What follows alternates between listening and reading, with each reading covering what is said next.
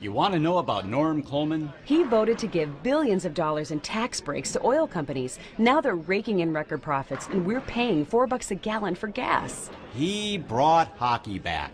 He voted for the largest cut in student aid in history, and now our kids are going to graduate with a crushing burden of debt. Well, he, um, brought hockey back? He rubber stamped George W. Bush's war in Iraq He brought 17 times. Norm Coleman.